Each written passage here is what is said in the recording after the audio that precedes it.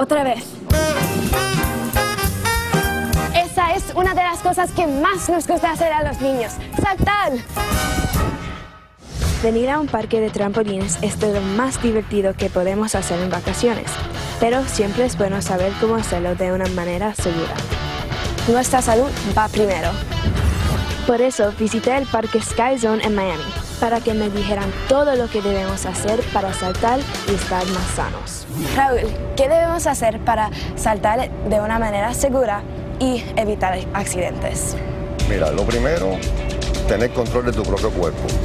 Segundo, estar atenta siempre a tu alrededor, que no haya nadie que haya entrado de manera intrusa. Eh, tratar de no quedarte enganchado del aro, por ejemplo en el Sky Slam, para no poder perder el equilibrio y caer de espalda. Se evitan todo tipo de caídas que tengan que ver con cabeza y cuello, por tanto, eso es una de las cosas más importantes en este sitio. En los demás, uno solo va a estar saltando siempre a la misma vez, de manera que nadie pueda bompear a otro hacia afuera y se pueda hacer lastimado.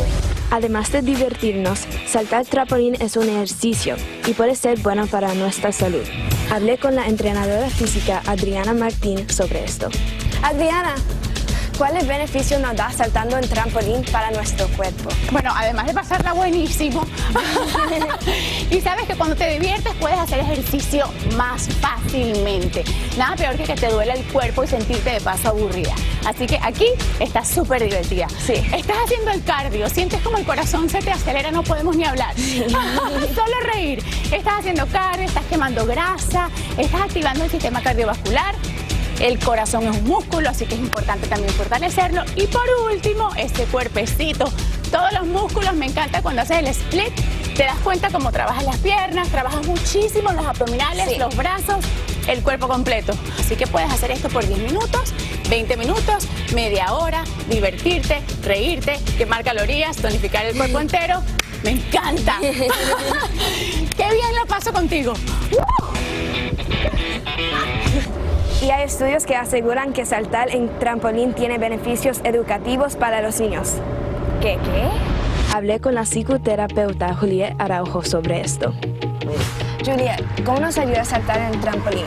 Bueno, el trampolín tiene muchos beneficios para el cerebro sobre todo.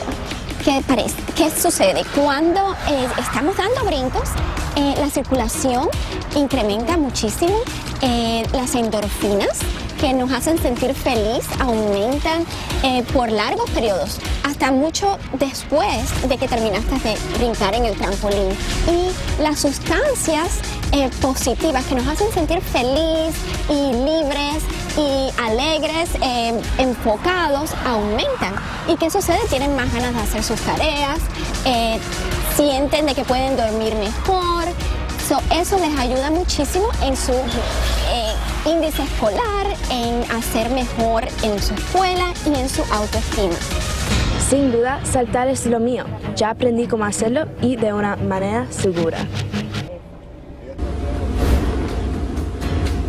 Gracias papá, lo más que me gustó fue cuando hablamos de cómo brincar en trampolín te ayuda a hacer la tarea.